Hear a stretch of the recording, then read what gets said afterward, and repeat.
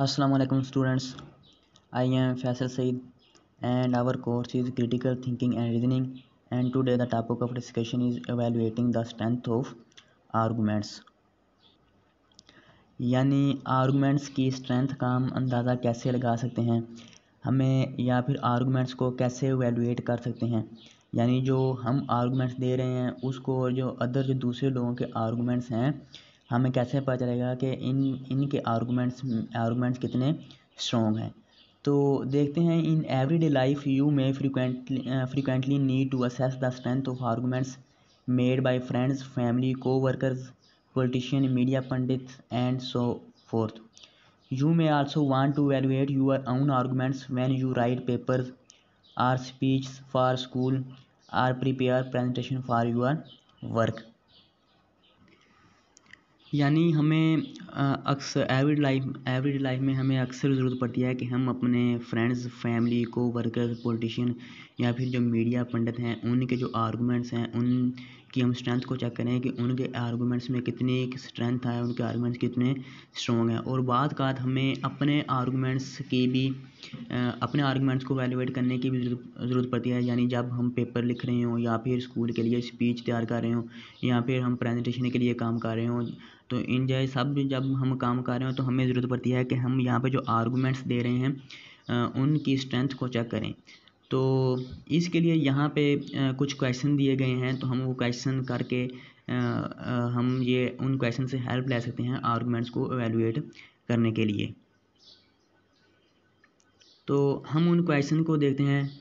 What is the conclusion यानी मतलब conclusion क्या है? What are the premise provided to support the conclusion मतलब जो भी कंक्लूजन है, उसको सपोर्ट करने के लिए कौन सी प्रीमिस दी गई हैं?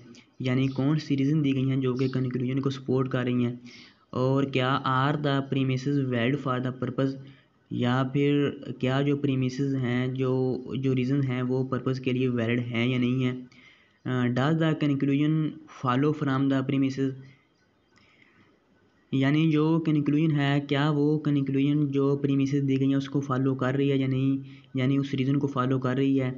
या फिर are there any fallacies in the chain of reason या फिर जो रीज़निंग या फिर जो रीज़न है, जो वजूहत हैं, जो हम दे रहे हैं, उसमें कोई गलती है? ये क्वेश्चन है। और नेक्स्ट है व्हाट अजम्पशन है बीन मेड कौन सी अजम्पशन बनाई गई है? आर द वैलिड अजम्पशन कौन सी अजम्पशन बनाई गई है? और क्या ये अजम्पशन वैलिड है?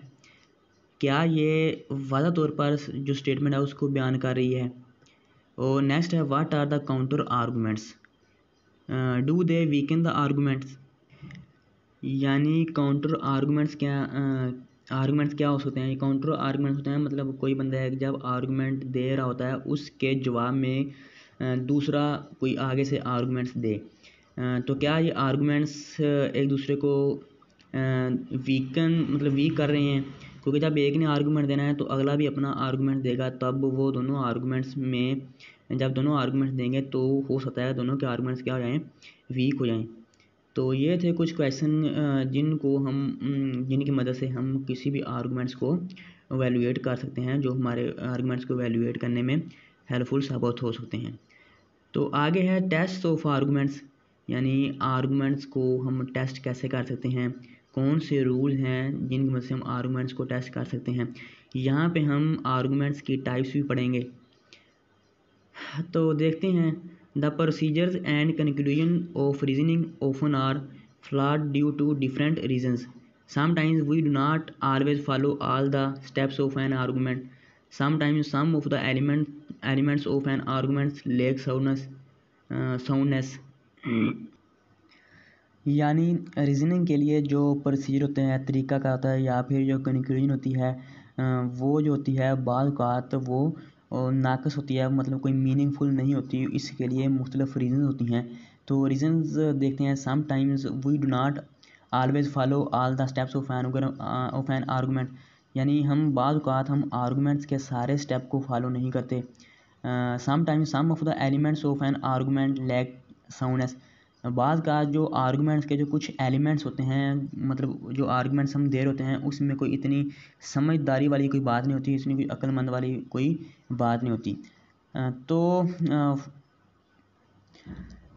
कुछ टेस्ट यहाँ पे दिए गए हैं, उनको हम डिस्कस करेंगे, जो हम अपने आर्गूमेंट्स में और दूसरों के आर्गूमेंट्स में उन टेस्ट को अप्लाई कर सकते हैं, जो यहाँ पे दिए गए हैं। तो ये आर्गूमेंट्स की टाइप्स भी हैं तो पहले देते हैं। Arguments by by example. So arguments by example is sometimes called argument from a partial case. Argument by example is an inductive pattern of reasoning. It claims that what is true of one case in in the class or category is also true of some other case in the same class or category. For example the waste water treatment method used at the abc chemical plant work well. So it will also work X Y Z plant. यानी उसने कहा है कि arguments by example को हम बाद का argument from a partial case भी कहते हैं।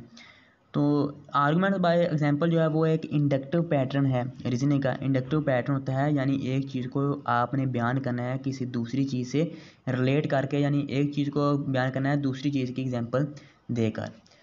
तो यानी जब आप कोई एग्जांपल देते हैं तो आपको लगता है कि वो जो एग्जांपल है, दूसरे पे भी सही कारआमद हो सकती है होगी। फॉर एग्ज़ाम्पल हम कहते हैं कि दो, जो वेस्ट वाटर ट्रीटमेंट मेथड है जो इस्तेमाल किया गया है A B C chemical plant पे, वो वेल जो मतलब अच्छा काम कर रहा है तो हम कह सकते हैं कि ये जो है जो एक्स वाई जी प्लांट के लिए भी ये वाला मेथड जो है वेस्ट वाटर ट्रीटमेंट मेथड ये उसके लिए भी क्या करेगा कारआमद होगा। तो अब एग्जांपल को दे, को देखते हैं जो आर्गूमेंट को टेस्ट करती हैं। तो पहली है इज़ द एग्जांपल रेलिवेंट क्या एग्जांपल वो रेलिवेंट होती है? Is the example typically typically is the example timely are there any critical counter example तो ये कुछ एग्जांपल्स हैं। जो टेस्ट ऑफ़ आर्गूमेंट्स के लिए होती हैं। तो आगे हम देखते हैं argument by generalization it is also an inductive pattern of reasoning it claim that what is true of certain member of or class or category is also true of the category or class as a whole for example the smoke control plan was effective in Lahore and in Bahawalpur it will also work well in Multan and in Rawalpindi or in any other city in Pakistan तो ये भी एक inductive pattern है। अगर ये inductor pattern है तो हम कह सकते हैं कि अगर हम किसी चीज़ को कह सकते हैं कि अगर ये चीज़ यहाँ पे ठीक है, इसके लिए ठीक है तो एज़ ए होल सब के लिए ठीक ही होगी। तो मिसाल के तौर पर जो स्मोक कंट्रोल प्लान है, अगर वो इफ़ेक्टिव होगा अच्छा काम कर करा होगा लाहौर और बहालपुर में तो क्या होगा तो हम कह सकते हैं it will also work well तो ये वेल वर्क करेगा मुल्तान, या रावलपिंडी में भी या फिर पाकिस्तान की किसी सिटी में भी ये ये अच्छा काम करेगा। तो यहाँ पे भी है test of arguments by generalization तो हम देते हैं उसमें कौन सी है? तो यहाँ पर देते हैं कि जनरलाइजेशन के लिए जनरलाइजेशन के ज़रिए हम आर्गूमेंट्स को कैसे टेस्ट कर सकते हैं। तो are the example relevant to the claim are they are enough example to support this claim are the example representative of class about which the generalization is made इसका मतलब है, क्या वो एग्ज़ाम्पल जो, उस क्ला क्या ये जो एग्ज़ाम्पल हैं, उस क्लास को रिप्रेजेंट कर रही हैं जो हम, जिसके लिए हम जनरलाइजेशन बना रहे हैं। तो नेक्स्ट है are they any critical counter examples तो इससे नेक्स्ट हम पढ़ेंगे आर्गूमेंट्स फ्राम एनालॉगी